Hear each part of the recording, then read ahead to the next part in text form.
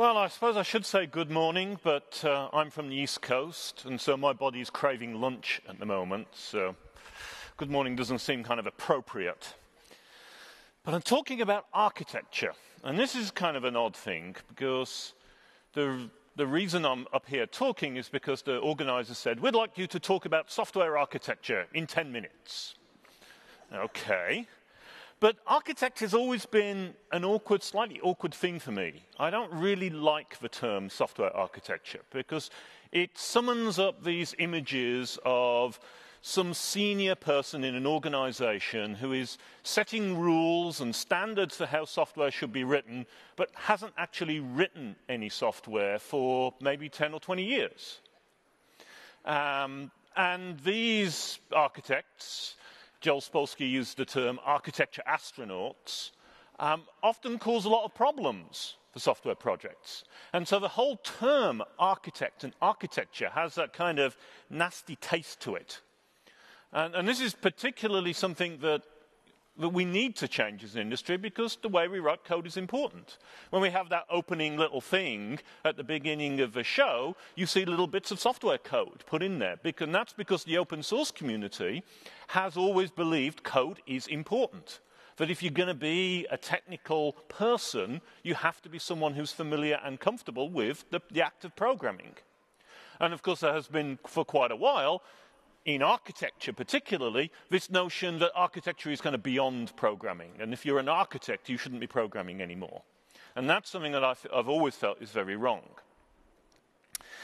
But that then only raises the question well, well, what really is architecture? What does the, even the word mean in a software context? Because, of course, we're borrowing the term from buildings and construction, where it actually means something completely different. And I won't go into all of that. If you want to come up with some kind of official definition of what architecture should be, this is probably the closest you might get. IEEE software standard. And that kind of definition has been around for a while. But when I think of what architecture ought to mean and does mean, I actually think of a reaction to a statement like that um, that was made by this guy. I don't know how many of you recognize him. This is Ralph Johnson, um, probably best known as one of the authors of the Design Patterns, the Gang of Four book. He's also, and, and work by people like him has been a major trigger for my career in the sense that it was his students that originally um, formalized the notion of refactoring, that um, actually wrote the very first refactoring tools. So I've nicked a lot of stuff from Ralph and his, his um, folks over the time. And he sent an email once that was a reaction to that definition of architecture. And I liked it so much that I ended up stealing it completely. And this column on architecture that I wrote over 10 years ago for IEEE software basically takes the entire e- uh, email and pads it out a bit to be the column. You can find it if you, if you want to hunt around for it.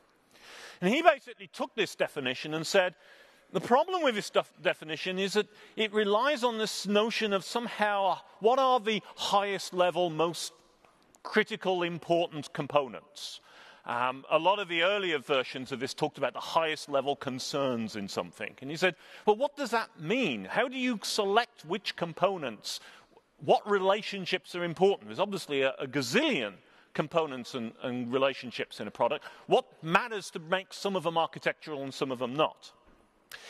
And in his view, he said that, well, what really matters here is that if you go to a reasonably healthy software project and you talk to the expert developers on that project, the people who are most capable, who are most familiar with a code base, they will have some common understanding of how the thing works. And it's that common understanding that is effectively the architecture. And this is important because it is also uh, brings out the fact that architecture is very much a social thing. It is that fuzzy embedded understanding that really matters. And yet, there may be diagrams here and there, there might be documents here and there, and they may have architecture written on them, but they're just a representation, and usually an imperfect representation of that shared understanding. And what you're trying to do with a software project, particularly as software projects grow, is you want to make sure you have a good shared understanding between the people who are leading the project. That's really what matters. But that definition, although it's very common, there's another one that's also quite important, which you also see, which is saying that architecture should be the decisions you need to make early on. And Ralph also was able to poke a hole in that one. He said, Well, really, it's what you wish you could get right early on. because the point is, the decisions you might need to make early, you don't have the information. You only learn about what the software product should be structured like as you're building it. And what it really boils down to is you concerned about the decisions that are hard to change. And that is actually a quite useful way of thinking about architecture. What is hard to change? And it does lead to some different um, thoughts than what are the main components and how do they fit together. Because programming language, the choice of programming language, is a decision that's hard to change. But it isn't usually considered what are the top level components. So, having kind of taken these two routes, he then continues by saying, well, really, we've got two things here shared understanding and hard to change, but they actually boil down to really what, in his view, and, and I'm echoing it because it's in my view too, is the definition of architecture.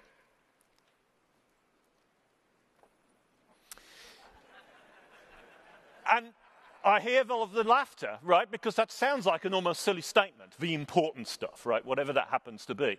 But actually, I think it's a very profound statement. It says that if you're trying to think about your software system and what its architecture is, what you, the first thing you have to do is you have to figure out, well, what is important? What do we, as the, lead, the technical leadership of a project, consider to be the most important things in there? or even on a solo project, what is the key things about this um, system? What is the most important thing in the code base that I have to keep at the top of my head when I'm working on it? That decision about what is important is really the key thing that goes on. And that is really the thing that trumps everything else. So that if people ask me what my definition of architecture it is, I follow Ralph in this and I say it's the important stuff. So that talks about what architecture is. The next thing I want to look at is another question, which is well, why should we care about software architecture? Why is it as important as you know, to have me come along and, and do a 10 minute talk about it? And really, the thing that triggers that is something like this that you hear from time to time. So, how many people have heard something like this on a software project that they've been working on? heard this kind of line.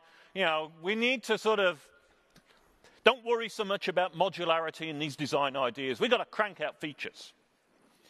And the reaction of a lot of people to this is they get frustrated and they try to argue in terms of, well, we, have got to do a, a, decent job as software professionals. We've got to stand up to our professional standards. It's almost like taking a moral response to this and saying, well, software architecture is important for moral reasons. We need to do a good job. We need to be craftsmen.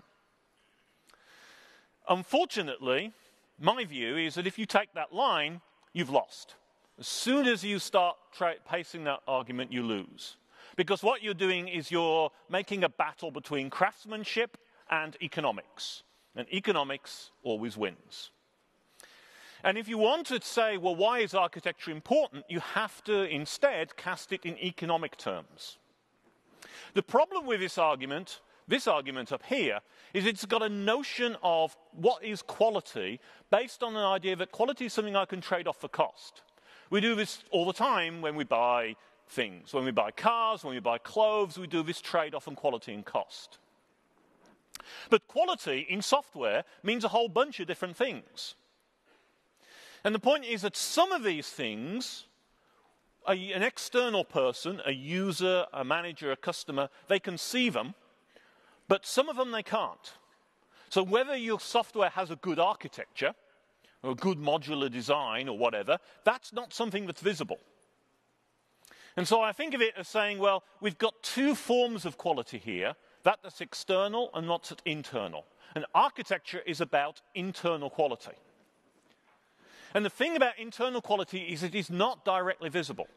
If somebody offers me a software pro product um, with great quality that costs $100 more than software that does exactly the same thing but has poor internal quality, what's my motivation to pick the great quality one?